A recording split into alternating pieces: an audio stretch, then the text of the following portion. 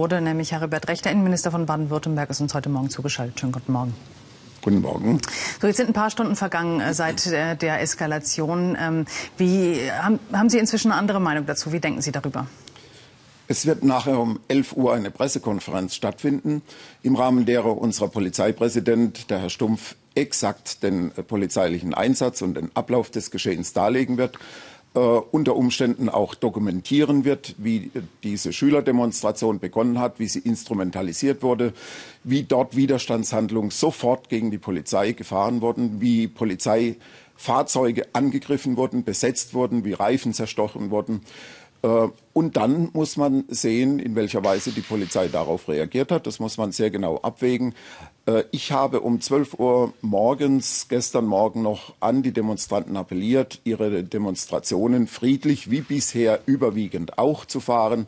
Das ist leider nicht beachtet worden. Die äh, Landeskirchen haben appelliert, einen, zu einem ja. friedlichen Protest zurückzukehren. Das alles hat leider nicht gefruchtet. Also das heißt, nach Ihren bisherigen Recherchen gehen Sie immer noch davon aus, dass das alles maßvoll war. Sie haben gestern im, ähm, im ZDF-Heute-Journal gesagt, wenn sich Mütter mit den Kindern äh, der Polizei in den Weg stellen, dann müssen sie eben auch mit körperlicher Gewalt, Gewalt weggebracht werden. Mütter mit Kindern.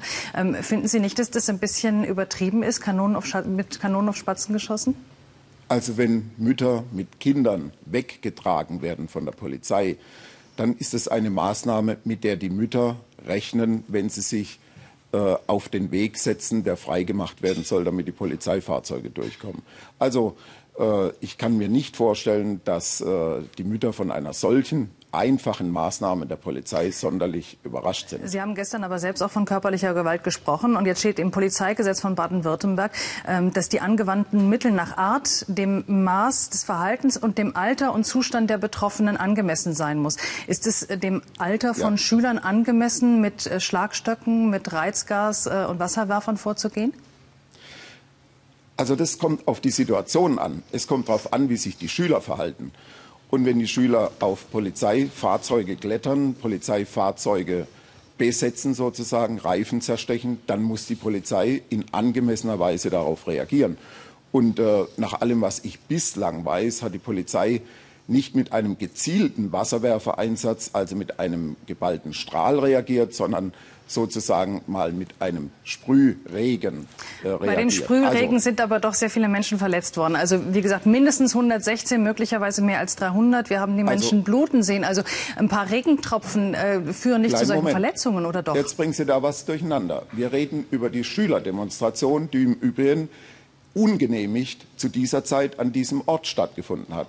Die Schüler wurden instrumentalisiert, aufgefordert durch Aktivisten der Parkschützer, in den Schlossgarten zu gehen. Die Demonstration war in der Lautenschlägerstraße äh, genehmigt. Also das ist schon mal ein Unterschied. Und äh, das, was Sie an Verletzungen ansprechen, das ist wohl am späten Nachmittag passiert. Und da berichten mir die Polizeibeamten nicht nur aus Baden-Württemberg, sondern auch anderer Länder, dass sie entsetzt gewesen seien über die Aggressivität, die ihnen da entgegengeschlagen hat. Im Übrigen haben wir Anti-Konflikt-Teams eingesetzt, also geschulte Polizeibeamte, die mit den Demonstranten ins Gespräch kommen. Das hat sich beim NATO-Gipfel bewährt und es war gestern völlig fehlgeschlagen, weil mhm. die Demonstranten nicht bereit waren, mit der Polizei es zu reden. Es ist nur tatsächlich verblüffend, dass äh, die Polizei, Hundertschaften der Polizei, Sechshundertschaften der Polizei aus ganz Deutschland nicht in der Lage sind, mit anderen Mitteln, und wir reden ja über bürgerliche Demonstranten, jeden Alters bis hin zu Senioren, dass sie nicht auf andere Art und Weise mit denen fertig werden als mit Wasserwerfern.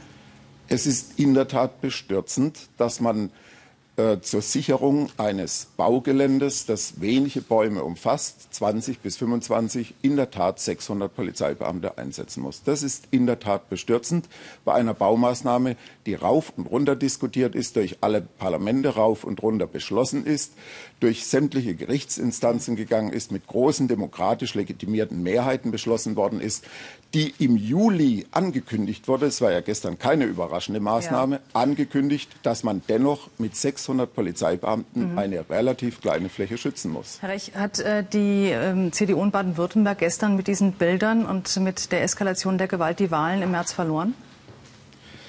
Wissen Sie, äh, gestern haben Sie die eine Seite gesehen an Bildern.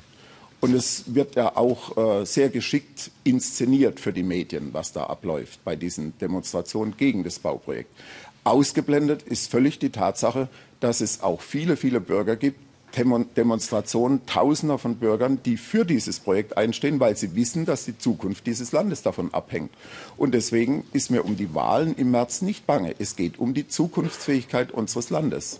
Heribert Rech war das der Innenminister von Baden-Württemberg, der als Innenminister eben für den Polizeieinsatz gestern verantwortlich war. Ihnen herzlichen Dank für dieses Gespräch heute Morgen. Vielen Dank.